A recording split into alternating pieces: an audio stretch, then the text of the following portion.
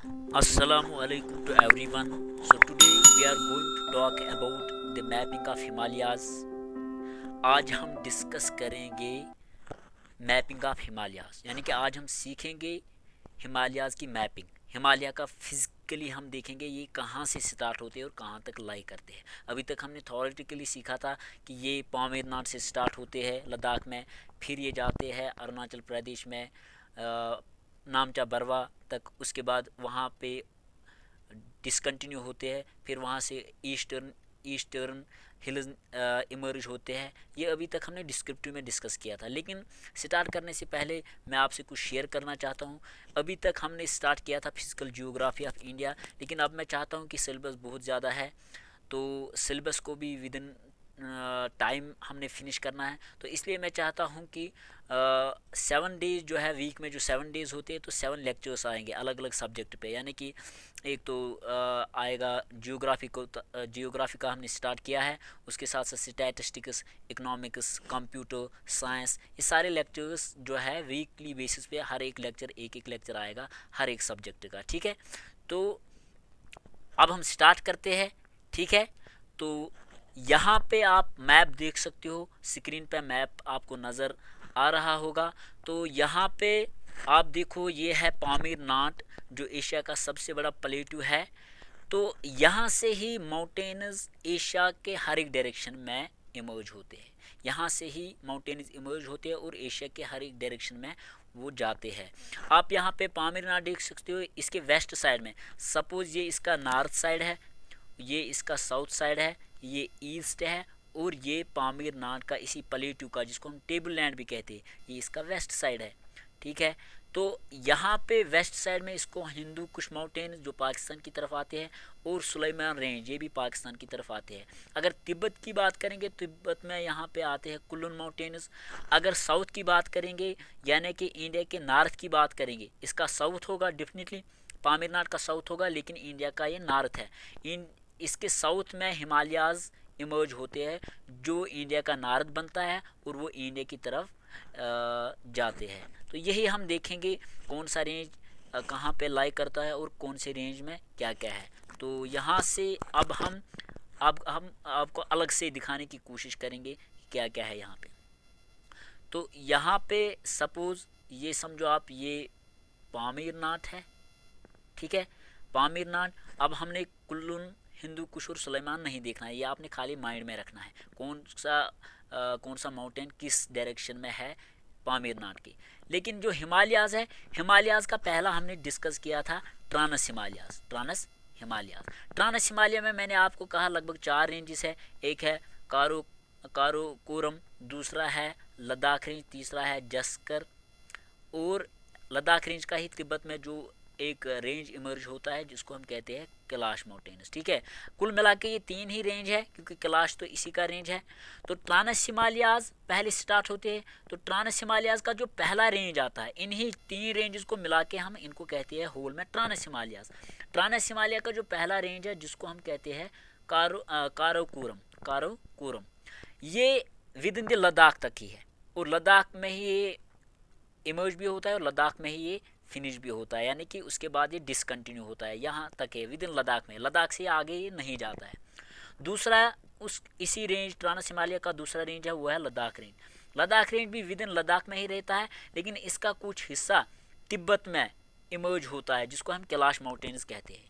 अगर आपसे पूछा गया कि लद्दाख रेंज का सबसे बड़ा रेंज कौन है तो आपने बोलना है कैलाश रेंज इसके बाद है जस्कर रेंज तो जस्कर रेंज जो है ये भी विद इन लद्दाख में ही पड़ता है, लेकिन यहाँ पे याद रखना है आपने, ठीक है? तो ये भी विद इन लद्दाख में है तो लद्दाख से आगे ये नहीं जाता है। तो काराकोरम और जस्कर, ये विद इन लद्दाख में ही रहते हैं, लेकिन लद्दाख रेंज का कुछ हिस्सा जाता है कहाँ पे? तिब्बत में, जिस, तिब्बत के वेस्ट में वो जाता है, जिसको हम कैलाश माउंटेन्स के नाम से वहाँ पे जानते हैं। तो जो कार जो काराकोरम है, इसी पे दुनिया का सेकंड हाईएस्ट पीक आता है, जिसको हम के टू जो कल हमने डिस्कस किया, या माउंट गार्डविन एस्टन या जिसको चाइना में को कोगिर को गिर कोगिर रेंज भी कहते हैं। तो ये आपने याद रखना है। तो यहाँ पे हमने ट्रांस हिमालय को देखा। आप लाइन में भी देख सकते हो मैप में। तो लाइन में मुझे लगा आपको कन्फ्यूज़न होगा तो इसलिए मैंने यहाँ पे सेपरेटली दिखाने की कोशिश की। तो मैं उम्मीद करूँगा कि आपको समझ आपने अंडरस्टैंड किया होगा। तो अब दूसरा रेंज है क्योंकि ट्रांस हिमालय के बाद आते हैं ग्रेटर हिमालयाज ठीक है? जिनको हम हिमादरी भी कहते हैं। तो ट्रांस हिमालय के बाद यहाँ पे आते हैं greater Himalaya greater Himalayas continuous है, ठीक है? ये कश्मीर से स्टार्ट होते हैं। कश्मीर से स्टार्ट होते हैं ये, और ये जाते हैं अरुणाचल प्रदेश तक। अरुणाचल प्रदेश तक। अरुणाचल प्रदेश में स्टेट में एक जगह है जिसको हम नामचा बरवा कहते हैं। यहाँ पे आप देख सकते हो, नामचा बरवा और ये है यहाँ पे ग्रेटर हिमालय ठीक है? तो नामचा बरवा नामचा बरवा, यानी कि यहाँ से कश्मीर से लेकर अरुणाचल प्रदेश में एक जगह है, नामचा बरवा, यहाँ तक ये, यहाँ से स्टार्ट होते हैं और यहाँ तक ये लाई करते हैं और यहाँ पे ये फिनिश होते हैं, ठीक है? कौन? ग्रेटर हिमालयस। ग्रेटर हिमालयस, अगर आपको कहा गया कि हिमालयाज में से कौन सा माउंटेन कंटिन्यूस है तो आप कहोगे greater Himalayas greater greater Himalayas और इनकी लैंग्थ कितनी है ग्रेटर हिमालयाज की? सारे ग्रेटर हिमालयाज की लैंग्थ भी है two four zero zero kilometre. लेकिन अगर अलग से आपको पूछा गया कि ग्रेटर हिमालय की लेंथ कितनी है ग्रेटर हिमालय जो है इनकी अलग से लेंथ कितनी है वो भी है two four zero zero kilometre. ठीक है? तो ये कंटिन्यूस है और आ, इस अगर इस ग्रेटर हिमालय की बात करेंगे ग्रेटर हिमालय की बात करेंगे इसकी एवरेज हाइट मैंने आपको कहा वो है six zero zero. Six thousand metres above the sea level ठीक है? लेकिन ये सिक्स थाउज़ेंड से एबो जाता है क्योंकि इसी पे आ, अगर आपको पता होगा ये यहाँ पे भूटान है भूटान यहाँ पे नेपाल है तो ये यहाँ इंडिया के दो नेबरिंग स्टेट से भी गुजरता है फिर ये दोबारा आगे इंडिया में रीअमर्ज होता है अरुणाचल प्रदेश में ठीक है? और इसी का एक हाइस्ट पीक है जिसको हम माउंट एवरेस्ट कहते हैं। माउंट एवरेस्ट, जिसकी टोटल टोटल जो एबोद सी में एबोद सी लेवल है, वो है eight thousand eight hundred forty eight metre above the sea level almost nine kilometres above the sea level है ये. ये भी इसी ग्रेटर हिमालय पे आता है. ये कंटिन्यूस है, ठीक है?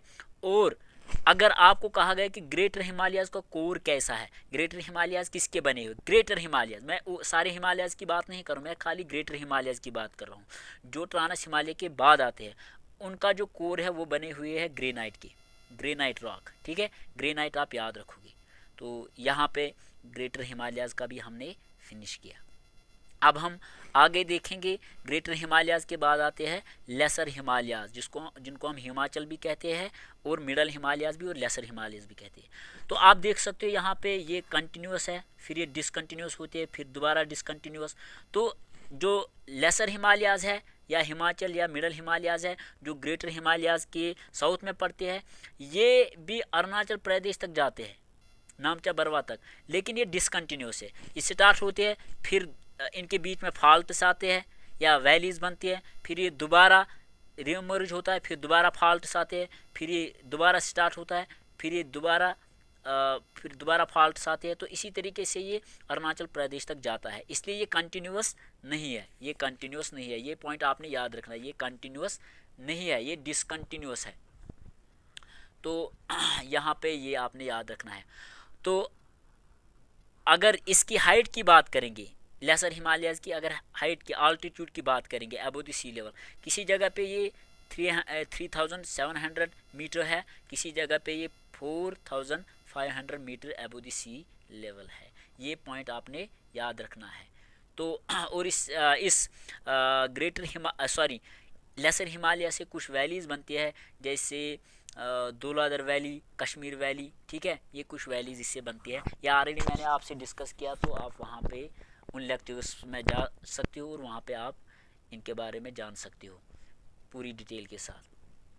अब इसके बाद आते हैं शिवालिक्स शिवालिक जिनको हम आउटर हिमालयस कहते हैं, जो जम्मू से स्टार्ट होते हैं, यहाँ पे जम्मू, ठीक है? जम्मू से स्टार्ट होते हैं और ये भी डिसकंटिन्यूस है, ठीक है? लेकिन ये भी जाते हैं अरुणाचल प्रदेश तक, ठीक है? लेकिन डिसकंटिन्यू इनके बीच में भी फॉल्ट्स आते हैं। इनके बीच में कोई भी कुछ वैलीज बनती है तो ये भी आपने याद रखना है शिवालिक्स। शिवालिक्स भी डिसकंटिन्यूस है और इनकी अगर हाइट आल्टीट्यूड की बात करेंगे, किसी जगह पे 900 metre above the sea level है, किसी जगह पे 1100 और 1200 मीटर्स एबो द सी लेवल है। ये आपने याद रखना है। और शिवालिक्स अगर आपको कहेगा कि कोई शिवालिक्स जो है शिवालिक्स का कोर कैसा है, वो किन रॉक्स का बना हुआ है, वो है सेडमेंट्री रॉक्स का। ये आप याद रखोगे। सेडमेंट्री रॉक्स का इनका कोर बना हुआ। और इनसे जो कुछ वैलीज़ बनती है, क्योंकि इनके फाल्टस है यहाँ पे स्टार्ट होती है शिवालिक्स फिर फाल्टस आते हैं फिर दोबारा स्टार्ट होता है ठीक है? तो ये जो फाल्टस है इनके बीच में कुछ वैलीज़ बनती है जिनको हम कहते हैं Duns Duns or Duars Duns or Duars Duns or Duars का मतलब है वैलीज़ ठीक है? यानी कि वैली जैसे देहरादून कोटली आ, कोटली दून ये कुछ वैलीज़ है जो शिवालिक और लेसर हिमालयाज़ के बीच में बनती है। ड्यूनस मीनस वैलीज़ क्योंकि लेसर हिमालय से भी वैलीज़ बनती है और शिवालिक से वैली भी वैलीज़ बनती है, क्योंकि ये डिसकन्टीन्यूस है और इनके बीच में कुछ फॉल्ट्स आते हैं, उनके बीच में वैलीज़ बनती है, वादियाँ बनती है, जहाँ पर लोग रहते हैं और उनको हम ड्यूनस या डुआज कहते हैं। तो ये आपने याद रखना है। अब आगे बात करेंगे, अब हमने यहाँ पे ट्रांस हिमालयाज भी डिस्कस किए, हमने ग्रेट हिमालयाज भी, हमने इसके बाद लेसर हिमालयाज के भी, और जो आउटर हिमालयाज है, जिनको हम शिवालिक्स कहते हैं, जो जम्मू से स्टार्ट होते हैं, और जाते हैं नामचा बरवा, यानी कि अरुणाचल प्रदेश तक। यहाँ तक ये सारे हमने ट्रांस हिमालयाज या सारे हिमालयाज को कवर किया। अब, जब ट्रांस हिमालयाज यहाँ पे फिनिश होते हैं नामचा बरवा में, यहाँ से एक एक नया हिल स्टार्ट होता है, जिसको हम ईस्टर्न हिल्स कहते हैं। ये यहाँ पे आप देख सकते जो कन्वेक्स शेप यहाँ पे लेता है। कन्वेक्स ठीक है? कन्वेक्स यानी कि क्रीसेंट टाइप का यहाँ पे ये बनाते हैं, ऐसे। तो यहाँ पे एक नया, इस तरीके से एक नया, नामचा बरवा से एक नया हिल स्टार्ट होता है, जिसको हम ईस्टर्न हिल्स या पूर्वांचल पूर्व मीन्स ईस्टर्न हिल्स कहते हैं, जो स्टार्ट होते हैं, और ये यहाँ पे क्रीसेंट शेप लेते हैं, और इंडिया के साउथ में, यानी कि ये इंडिया का ईस्टर्न साइड की तरफ़ जाते थे ग्रेटर हिमालयाज लेकिन जब ईस्टर्न हिल्स या पूर्वांचल हिल्स स्टार्ट होते हैं, वो क्रीसेंट टाइप का या कन्वेक्स शेप लेते हैं और नीचे साउथ की तरफ़ आते हैं। साउथ में आने के बाद वो इंडिया के बाकी स्टेट्स में एंटर होते हैं और इनके कुछ हिल्स है। ईस्टर्न हिमालय सॉरी इनको ईस्टर्न हिमालयाज भी आप कह सकते हो। ईस्टर्न हिल्स के कुछ अलग अलग हिल्स हिल रेंज है, जिनको हम कल हमने डिस्कस किया। पटकाई पटकाई हिल दूसरा है नागा हिल तीसरा है मणिपुर हिल उसके बाद है मीज़ो हिल। ये हमने डिस्कस किए थे। ये चारों या बरेली हिल्स ये पाँच हिल्स जो है हिल रेंज हैं इनको मिला के हम कहते हैं इनको ईस्टर्न हिल्स ठीक है? तो ऐसे मैं आपको दोबारा यहाँ पे ईस्टर्न हिल्स के बारे में आ, बताने की कोशिश करूँगा कि कैसे यहाँ पे क्या होता है। सपोज़ ये नामचा बरवा तक फिनिश होते हैं ग्रेटर हिमालय उसके बाद यहाँ पे ईस्टर्न हिमालयाज स्टार्ट हुई। ठीक है? ईस्टर्न हिमालयाज का जो पहला रेंज आता है वह है पटकाई पटकाई रेंज या पटकाई हिल्स उसके बाद है नागा हिल्स उसके बाद है बरेली हिल्स उसके बाद है मणिपुर हिल्स उसके बाद है मीज़ो हिल्स ठीक है? तो ये आपने याद रखना है मीज़ो हिल्स तो ये सारे हिल रेंजेस जब हम इनको कंसिस्ट करते हैं तो ये बनाते हैं ईस्टर्न हिल्स लेकिन इसके अंदर से भी कुछ तीन रेंजेस है, जिनको मैंने कल कहा ट्राइब्स के नाम से भी जाना जाता है। गारो खांसी एंड जैंतिया गारो खांसी एंड जैंतिया ये सारे हिल्स को मिला के हम इनको नाम देते हैं, ईस्टर्न हिल्स और पूर्वांचल हिल्स ऑफ़ इंडिया। ठीक है? तो ये यहाँ पे याद रखना है। लेकिन जो यहाँ पे पटकाई पटकाई हिल जो आता है, इसके इसके नार्थ में, यानी कि अरुणाचल प्रदेश के नॉर्थ में, यहाँ पे। ये अरुणाचल प्रदेश का नॉर्थ होगा, क्योंकि नॉर्थ से ही ये स्टार्ट होती है, फिर आती है साउथ की तरफ़, अरुणाचल प्रदेश। अगर अरुणाचल प्रदेश की बात करेंगे, उसका नॉर्थ, लेकिन खुद तो अरुणाचल प्रदेश ईस्ट में आता है। तो यहाँ पे एक हिल बनता है, जिसका नाम है Dapha D A P H A Dapha hill. Dapha hill के साउथ में आता है पटका हिल। फिर पटका हिल के बाद आता है नागा हिल। नागा हिल के बीच में आता है बरेली हिल, उसके बाद मणिपुर हिल, उसके बाद मीज़ो हिल। तो ये यहाँ पे मैपिंग थी हिमालयाज़ की, जो हमने जानने की कोशिश की। और यहाँ पे वेस्ट की तरफ़ कुछ यानी कि वेस्ट की तरफ़ कुछ नए माउंटेन्स बनते हैं जिनको हम कहते हैं गारो खांसी एंड जैंतिया। यानी कि अरुणाचल प्रदेश के कुछ वेस्ट साइड में गारो खांसी एंड जैंतिया। बेसिकली यहाँ पे ट्राइब है जो इन्हीं माउंटेन्स पे रहते हैं इन्हीं फॉरेस्ट के ऊपर रह, इन्हीं फॉरेस्ट में रहते हैं जो इन माउंटेन्स पे यहाँ पे पाए जाते हैं। और उन्हीं ट्राइब्स का नाम है गारो खासियन जयंती इसीलिए इन हिल्स को भी इन्हीं नाम से जाना जाता है। गारो खासियन जयंतिया, ये आसाम में है, ठीक है? गारो खासियन जयंतिया। तो ये हमारी मैपिंग थी हिमालयाज की और ईस्टर्न हिल्स की, जो अभी तक हमने डिस्कस किए थे। अब हम और जानने की कोशिश करेंगे, और क्या है यहाँ पे। अब हम पासिस की बात करेंगे। कुछ पासिस है, ठीक है? तो कुछ पासिस है, उनको हम डिस्कस करेंगे। तो यहाँ पे ये मैप आप देख सकते हो तो आपको खुद समझ आएगा कि कहाँ से कैसे माउंटेन जाते हैं। तो अब हम यहाँ पे कुछ पासिस डिस्कस करेंगे, क्योंकि पासिस इंपॉर्टेंट है। जो पासिस इन माउंटेन्स पे पाए जाते हैं, उनको हम डिस्कस करेंगे। तो पहला यहाँ पे आप देख सकते हो बानीहाल पास है Banihal pass Banihal pass Jammu and Kashmir के बीच में, ये पास जो है, आपसे पूछा जा सकता है बानीहाल पास बानीहाल जो रास्ता है, ये हिमालय के किस रेंज में आता है? ये हिमालय के पीर पंचार रेंज में आता है। पीर पंचार रेंज किसका पार्ट है? ये लेसर हिमालयाज का पार्ट है। ये लेसर हिमालयाज का पार्ट है। तो बानीहाल पास, जिसमें, जिसको हम जवाहर टनल के नाम से भी जानते हैं, ये जम्मू और जम्मू और श्रीनगर को जोड़ता है। यानी कि वैली और जम्मू को जोड़ता है। ठीक है? जवाहर टनल, जो जम्मू और श्रीनगर को या कश्मीर को रेस्ट ऑफ़ द कंट्री से जोड़ता है। तो बानीहाल पास किस रेंज पे आता है? ये पीर पंचार रेंज पे और इसकी जो आल्टीट्यूड है वो है 2832 मीटर अबो दी सी लेवल ठीक है? और ये किस माउंटेन रेंज पे आता है? ये आता है लेसर हिमालयाज पे. तो बानीहाल पास आपने याद रखना है, जिसको हम जौहर टनल भी कहते हैं। उसके बाद है चांगला चांगला पहले ये ला समझिए ला क्या है? L la. La basically Tibetan language है। तिब्बत लैंग्वेज में ला कहते हैं पास को। पास पास मीनस रास्ता, ठीक है? तिब्बतियन लैंग्वेज में ला किसको कहा जाता है? पास को, रास्ता को, यानी कि वो रास्ता जो माउंटेन से गुजरता है, चाहे गाड़ियों का रास्ता हो या बाई फूट का रास्ता हो, उसको हम ला कहते हैं, या माउंटेन पासिस के नाम से जानते हैं। अब हम चांगला पास देखेंगे। ये कुछ इंपॉर्टेंट पासिस है जो आपने याद रखने हैं। चांगला पास क्या है? ये भी जम्मू एंड कश्मीर में पास है, और ये हाइस्ट माउंटेन पास है लद्दाख में। तो अगर आपको कहा जाएगा कि हाईएस्ट माउंटेन पास कौन है जम्मू एंड कश्मीर, वो है चांगला पास मगर ये कहाँ पे है? ये लद्दाख यूटी में है। अब तो ये यूटी है, ठीक है? तो यूटी में है तो चांगला पास जिसको हम नार्दर्न पास के नाम से भी जानते हैं। Changla pass is also known as northern pass क्योंकि ये नॉर्थ में पड़ता है तो इसको। और ये किस रेंज पे है? इंपॉर्टेंट ये ट्रांस हिमालय के लद्दाख रेंज में है, क्योंकि ट्रांस हिमालय का एक रेंज है जिसको हम लद्दाख रेंज कहते हैं, और ये इसी रेंज पे आता है, ठीक है?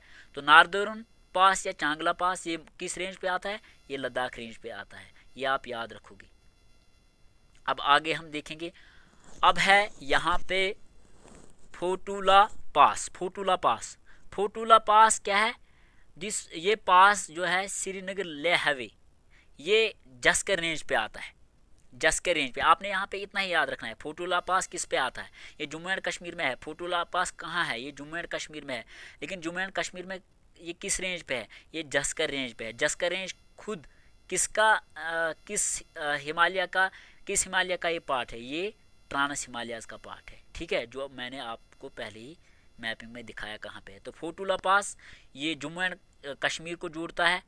यानी कि जुम सॉरी आप जम्मू एंड कश्मीर को ही कहो ये जम्मू एंड कश्मीर को जोड़ता है किसके साथ? ये जम्मू एंड कश्मीर को यानी कि लद्दाख से या लेह से जोड़ता है। ये आपने ऐसे याद रखना है। उसके बाद है कारदुंगला पास। कारदुंगला पास ये भी जम्मू एंड कश्मीर में है। ये भी आपने याद रखना है कारदुंगला पास। और ये किस रेंज पे है? ये का, काराकोरम रेंज पे है। ट्रांस हिमालय का जो पहला रेंज है, जिसको हम ट्रांस हिमालय कहते हैं, उसी रेंज पे एक एक पास है, जिसको हम कहते हैं कार दुंगला पास। कार दुंगला पास। तो ये आपने याद है कार दुंगला पास कारोकरम रेंज पे आता है। तो ऐसे आपने याद रखें, बाकी इसमें आपको बाकी चीज़ों की ज़रूरत नहीं है। ये इतना ही याद क्योंकि पूछा जा सकता है कार दुंगला पास किस रेंज पे है? तो ये कारा कोरम रेंज पे है, जो ट्रांस हिमालय का पार्ट है। अब है और एक निमिका, निमिकला निमिकला पास। ये भी जम्मू एंड कश्मीर में है। ये एक हाई पास माना जाता है, जो आता है बिटवीन करगिल और लेह। करगिल और लेह के बीच में ये आता है। ठीक है?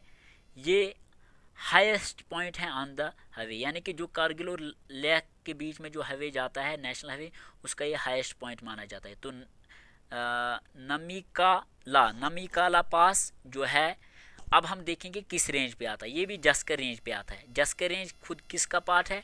ये ट्रांस हिमालय का पार्ट है। तो नमिकाला पास ये जस्कर रेंज पे आता है।